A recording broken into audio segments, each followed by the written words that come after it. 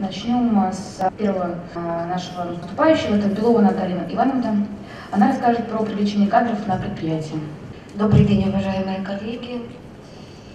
Значит, я директор предприятия ЗАО «Аксинья», это Семикаракорская керамика. Вот, ну, вы, наверное, знаете все нас, поэтому я расскажу, поделюсь опытом, как мы готовим кадры в свете того, что э, проблема подготовки творческих кадров для народных художественных промыслов в наше время как никогда актуальна.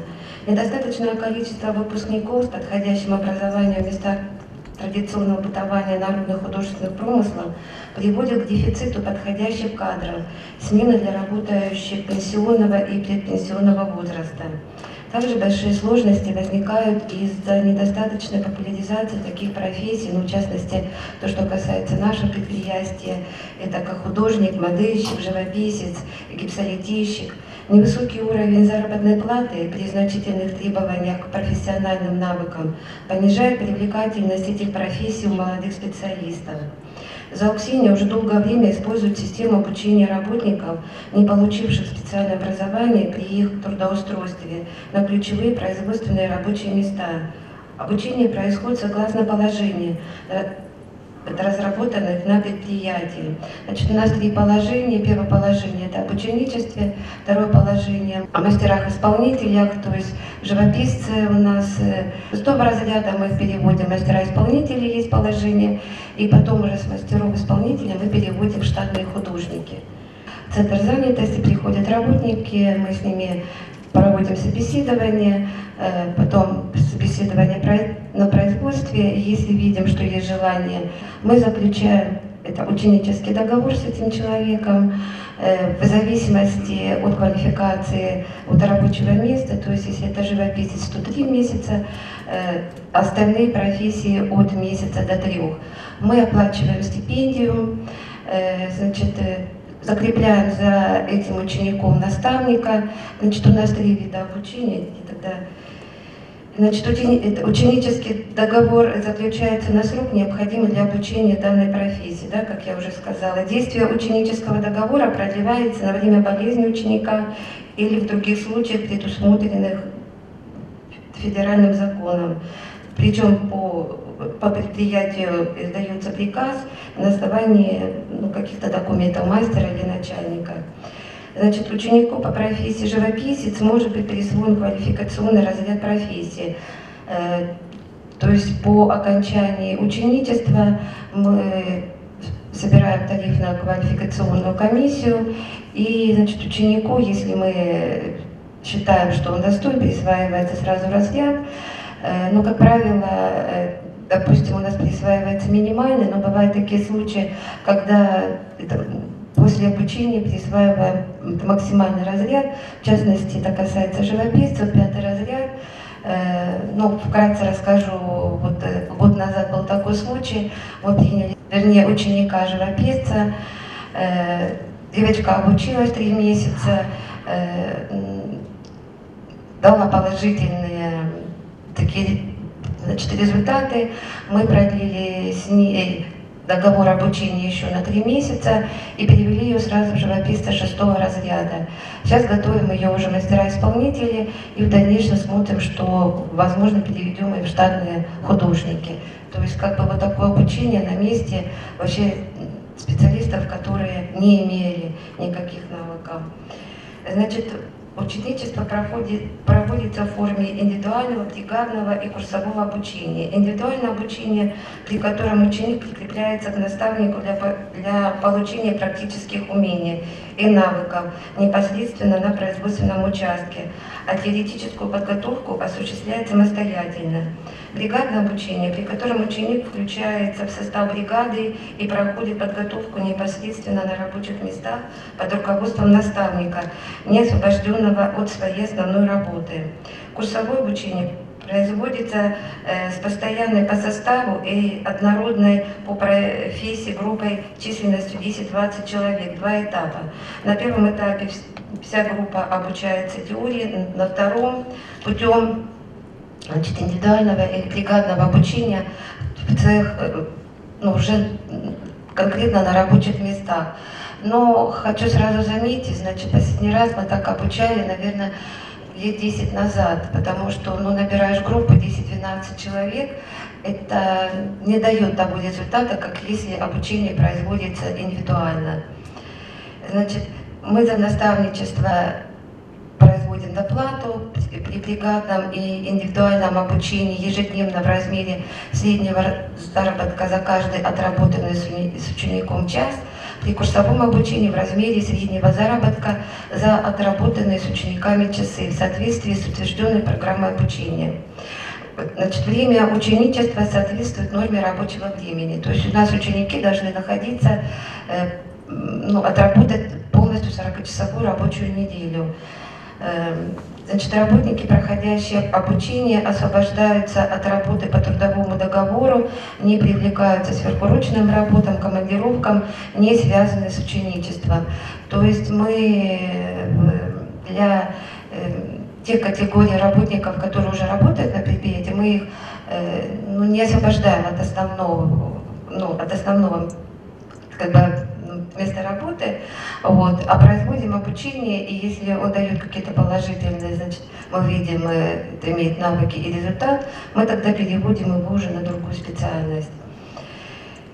Значит, ученикам период э, э, ученичества, как я уже сказала, выплачивается стипендия в размере в рот, ну, минимального размера оплаты труда. Значит, работа, выполняемая учеником на практических занятиях и принятая контролером ОТК, оплачивается по установленным сдельным расценкам и входит в оплату ученичества. То есть он э, помимо стипендии получает еще сдельную заработную плату, если это качественно выполнена работа.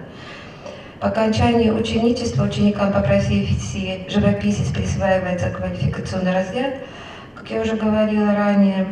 Э, значит, ученикам по остальным профессиям присваивается название да, профессии на основании решения квалификационной комиссии. То есть это там оправщик, приставщик, литейщик. У нас 11 видов специальностей, вот именно рабочих, конкретно касающихся народно-художественного промысла. Значит, и по окончании, значит, э, мы заключаем с учеником, это уже трудовой договор, на основании которого он должен отработать не менее трех месяцев, ну, для того, чтобы компенсировать те затраты, которые мы понесли на его обучение. Но это только лишь с теми учениками, которые ну, были приняты и утверждены тарифно-квалификационной так говорить. Значит, в случае невыполнения это условия ученического договора и вообще без уважительных причин мы просто расторгаем договор и как бы нету никаких, мы не применяем таких санкций. Если только видим, что мы не можем принять этого человека в дальнейшем на свое предприятие. Значит, эм, ну вот то, что касается обучения на зооксине, такая система позволяет привлекать людей, не получивших специального образования, благодаря системе, системе выплаты стипендий и оплаты за обучение наставникам, мы можем на стадии первоначального обучения выделить способных к выполнению данных работ и оставить на производстве вот именно тех людей, которые хотят работать на промысле, которые понимают, что это ручной труд, что это творческая работа. И... Да, конечно. На 10 человек принято. Какой отсев работников, которые вы взяли по какой-то причине не смогли, либо они не талантливы, либо там не получается, не усидчивы. Вот на 10 человек, сколько человек отвечает? Ну, вы знаете, я хочу сказать, что процентов 70 это те, кто остается, но потом, да, но остается на постоянно где-то процентов 40. Вот там они отработали год-два, а потом остается процентов 40-50, те, которые уже конкретно понимают, что это промысел. Вот еще тоже, да, хочу сказать, что э, многие приходят ведь вообще без образования, даже вот, ну, как я уже сказала, да, они даже не имеют представления. С ними, конечно, сложно, потому что мы их обучаем, да, кто-то дает результат, кто-то не дает. А многие приходят, недавно пришел ученик, он закончил наш строительный, архитектурный значит, университет ростовский, вот, у него тоже художка, он пришел, говорит, я хочу работать у вас на промысле. Мы, конечно, я его сразу взяла э, в наш цех, где мы исполняем сложные заказные изделия, исполнительские изделия. То есть я даже не стала его там на производство, где мы вот эту тиражную продукцию выпускаем, для того, чтобы он там просто, э, чтобы он показал сразу свой потенциал, и у него это получилось. Я даже вот готова там не ждать три месяца, пока он обучится, а переводить уже его на сдельную плату труда и на какие-то творческие такие работы. Но у нас в основном это касается живописцев большей части. Такие профессии, как э, летейщик, оправщик, да, они менее квалифицированные. Молодежи мало, в основном взрослый контингент, те женщины, которые знают, что они полмесяца обучатся месяц, мы все равно им платим стипендию в течение этого времени. Наставники, но они хотят быстрее запуститься уже на сдельную оплату труда для того, чтобы вот зарабатывать. Э, практика э, того, что те, с кем мы заключили трудовой договор, и они не отработали, они возмещают денежные средства согласно договора. Судебных не таких да не было. Все по обоюдной договоренности. Поэтому эта схема работает. Мне небольшой комментарий. Вот Наталья Ивановна подготовила документы, и они будут у вас в раздаточном материале большой А4 книжечки. Если у вас пакетики нет, их чуть-чуть позже привезли, то там вот будет как раз положение, ну, да, наше положение, ученический договор, договор наш. Да. То есть то, что вы можете уже сейчас использовать. Ну, примерно, ну, как, как образец взять то, что приготовила. Ну да, я не стала туда прикладывать наше обучение уже дальше, в частности то, что я сказала, да, живописец шестого разряда, потом мастер-исполнитель, потому что ну, это касается нашего вот именно направления промысла, как мы дальше уже готовим своих художников, потому что у нас художники уже такого возраста пенсионного в основном все, мы готовим уже тоже свои кадры вот по этой же схеме. То есть это живописец, потом он создает более сложные изделия, работает на заказах, там одно из условий, он в год должен создать не менее трех изделий, это я говорю о живописцах шестого разряда, которые дальше пойдут на производство, мы принимаем это худсоветом, нашим местным, областным, потом утверждаем, если это изделие проходит еще, э, это худсовет примет промторги, ему присваивается статус, э, это изделие признанного художественного достоинства, мы его переводим э, по решению художественного совета нашего, мастера-исполнители, по категориям зависимости. А потом уже э, он у нас растет в художнике, повторяюсь. Пример есть. У нас уже молодой художник Алюхина. Сегодня работаем, мы ее привезли, мы ее в прошлом году перевели в штатные художники. И еще троих готовим свои кадры куем. Есть еще ко мне вопросы? Микрофон, пожалуйста. По поводу того, кто учится, мы поняли, а вот по поводу того, кто учит, вы как-то их поощряете и добавляете к зарплате? Да, я же прочитала, мы оплачиваем им э, часы. Да. Потраченные на обучение? Да, да, да. Потраченные на обучение согласно программе, если это программа, то согласно программе. Вот. Э, но наставник не менее двух часов в день должен посвятить ученику. Это однозначно, и мы это оплачиваем. Спасибо большое, Наталья Ивановна.